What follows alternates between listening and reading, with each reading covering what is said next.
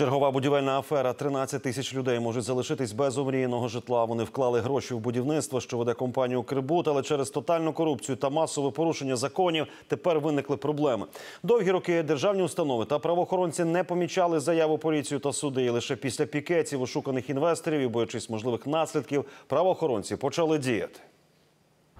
Тотальне порушення різноманітних норм і законів, а також повальна корупція у будівництві дійшли в Україні до абсурду. Нам в суді доводилось доказувати, що в Дніпра є лівий берег. Адже це заперечували адвокати будівельних фірм Укрбуду Максима Микитася, аби захопити під забудову прибережну охоронну смугу. Позаду мене один із 27 недобудованих об'єктів Укрбуду, де мали б заселитись і жити люди. Як і на більшості ділянок, дозволи на будівництво тут оскаржують у суді. Та будівництво зупинилось, кудись поділись гроші людей, які віддавали їх на зведення житла державній корпорації Укрбуд.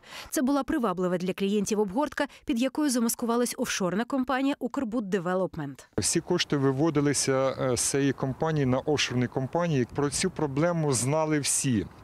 Е, Контролюючі органи, державні органи, але на жаль, враховуючи те, що фактично знищена система державного нагляду і контролю, е, ніяких дій не було вчинено. Анатолій Шаповал 12 років разом зі своїми колегами захищає від зазіхань Укрбуду і Микитася Київську набережну. Та попри спротив людей, тут за останні роки виросли дві свічки, які досі не ввели в експлуатацію через численні порушення законодавства. Фактично громада вигравала позови першу інстанцію з перемінним успіхом е, другу інстанцію, але, на жаль, якимсь дивним чином справи попадали до певної трійки суддів, от чомусь приймали рішення в угоду Микитася. Ось одна зі схем виведення фінансів. Люди вкладають гроші у фонд фінансування будівництва. Після цього керівники фонду передають їх довіреним особам, а ті кладуть їх на депозити в компанію Каса народної допомоги. Саме вона кредитує будівництво. Забудовник зводить житло, повертає гроші до каси із відсотками. Їх забирають довірені особи, і далі гроші розчиняються. 2015 року був великий скандал із таким фондом, але справу правоохоронці зам'яли. Громадська активістка і юрист Ірина Челяєва цьому не дивується, адже квартири Укрбуду мають і родичі прокурорів, суддів і нацполіції. Дивно виглядає розслідування національною поліцією, враховуючи, що національна поліція по декільком об'єктам насправді була партнером Укрбуд Девелопмент. Інші органи державної влади також ігнорували численні порушення законів Укрбудом. Національна комісія фінансових послуг не має повноважень перевіряти фонди фінансування будівництва. А Державна аудиторська служба інспектувала компанію аж 2010-го, і результати знищені.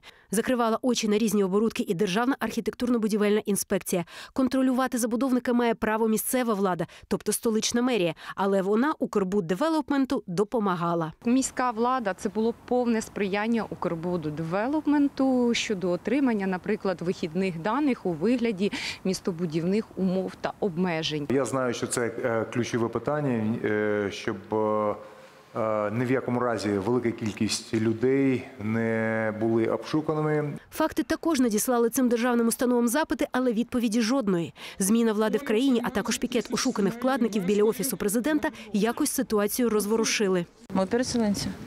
Вот, нам абсолютно негде жить. Если что-то не срастется, мы просто останемся на улице, мы переедем в офис к президенту с чемоданами и с детьми. Поки увесь резонанс звівся до пропозицій іншим забудовникам купити активи компанії, що тоне.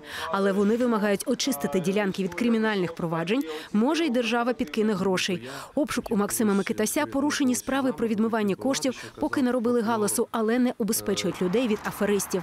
Тож громадські активісти знову готуються до нових судів. Справа передана на новий розгляд до окружного адміністративного суду. От і знову ми будемо доказувати суду, що лівий берег Дніпра це лівий берег Дніпра. Олена Астахова, Владислав Костюков, Юрій Грідовкін, Юрій Долгоручко. Факти ICTV.